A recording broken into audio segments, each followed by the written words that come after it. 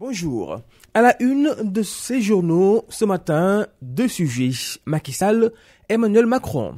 Enquête à sa une. Élection législative, mouvance présidentielle, branle-bas de combat. Le patron de l'APR a rencontré ce samedi les leaders de Benoît Yakar pour peaufiner la stratégie à adopter lors des législatives.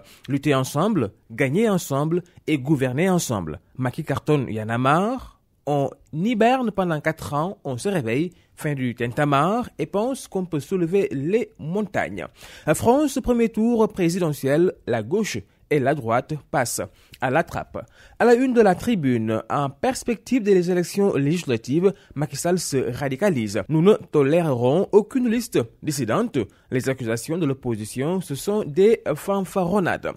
Emmanuel Macron pour terrasser Le Pen. Cela va se passer le 7 mai au second tour de la présidentielle française. À la une de Vox Populi, accusation d'instrumentalisation de la justice, de recul démocratique, d'endettement du Sénégal. Macky se défend et contre-attaque. Il renouvelle l'interdiction des listes parallèles dans son camp aux législatives. Nous nous sommes endettés pour mettre des pistes, des routes, des autoroutes des universités. Et puis, résultat du premier tour de la présidentielle en France, duel Macron-Le Pen au deuxième tour.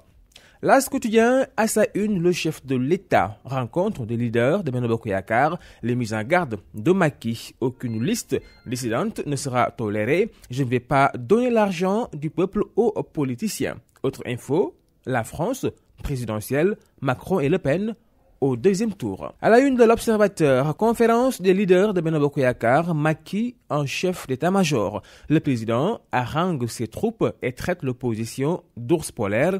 Il met en garde contre toute liste parallèle issue des rangs de Benoît Yakar. Il soutient qu'il n'appartient pas au président de la République de décider de la culpabilité d'un citoyen. La France, ni gauche ni droite. Macron, 23%. Le Pen 21% au deuxième tour de la présidentielle française. Et puis autre information, carnet rose, Pape Diallo l'animateur de Yeoulen a épousé sa collègue Kia Aydara. Sport, nous parlons avec le quotidien Stade, Espagne, doublé contre le Real, Messi éteint Santiago, Bernabeu. Et puis, autre information toujours à la une de ce quotidien sportif, de Lyon d'Italie, cartonne, triplé de Keita, Baldé, doublé de Rouman. À vos journaux et très bonne lecture à tous.